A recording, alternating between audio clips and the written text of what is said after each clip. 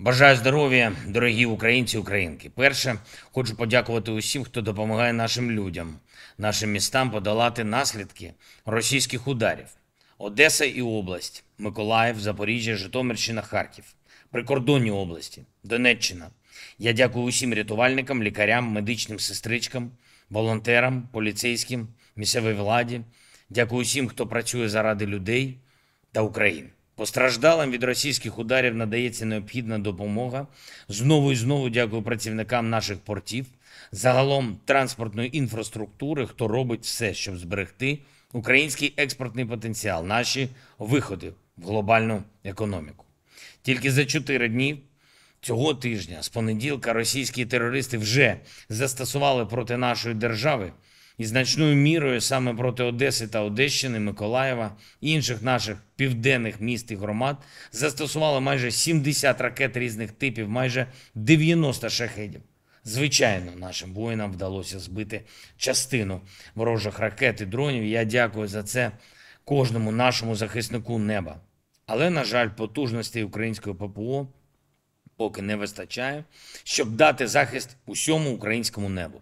Ми максимально активно працюємо з партнерами заради додаткових комплексів ППО, які можуть дати спокій та безпеку і нашій Одесі та усім іншим містам, громадам нашої країни.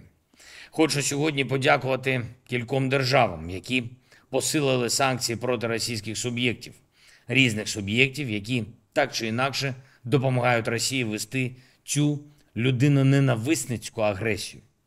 Я дякую Сполученим Штатам, Канаді, Європейському Союзу.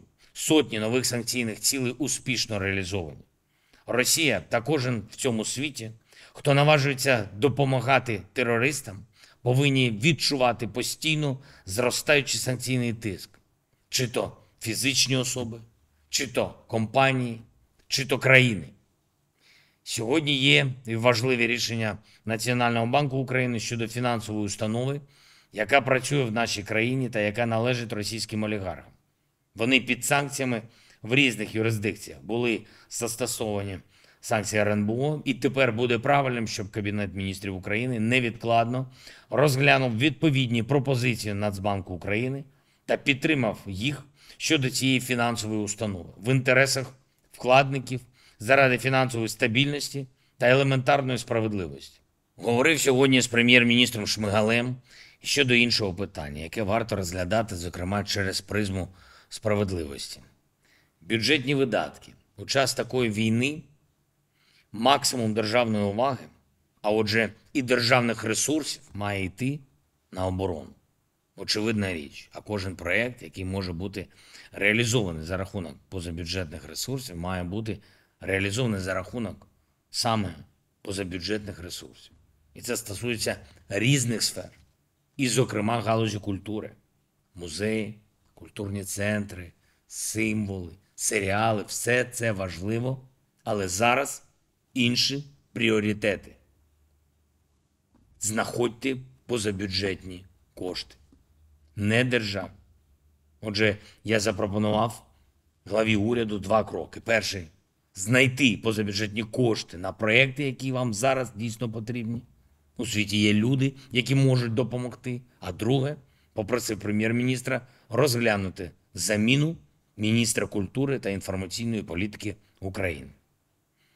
Окремо я хочу звернутися до всіх представників місцевої влади в нашій країні. Люди мають відчувати, що ресурси бюджетів використовуються справедливо і правильно. Кожен розуміє, про що йдеться. Бруківка, прикрашання міст, фонтани почекають. Спочатку перемога. І ще одне. Продовжуємо працювати, щоб мобілізувати світ для захисту продовольчої безпеки і нормального життя. Сьогодні, вперше в історії відносин між нашими державами, говорив з прем'єр-міністром Ефіопії, зокрема про спробу Росії зруйнувати наш зерновий експорт. Зараз в Ефіопії близько 20 мільйонів людей на межі голоду. Одна із найкритичніших ситуацій у світі. Торік український експорт врятував життя щонайменше мільйона громадян Ефіопії. Саме стільки продовольства вдалося направити в цю країну майже 300 тисяч тонн. І якби не російська агресія, то вдалося би врятувати значно більше життів, дати значно більше безпеки. Впевнений, що цього року можемо це зробити всі разом, весь світ. Ніхто в світі не зацікавлений в тому, щоб Росії вдалося зруйнувати глобальний продовольчий ринок. І, до речі, ми вже почали готуватись до запланованого на завтра засідання Радбезу ООН саме щодо цього питання продовольчої безпеки. Вдячний усім світі, хто допомагає. Слава нашим воїнам, слава кожному і кожній, хто б'ється заради свободи і життя людей. Слава Україні!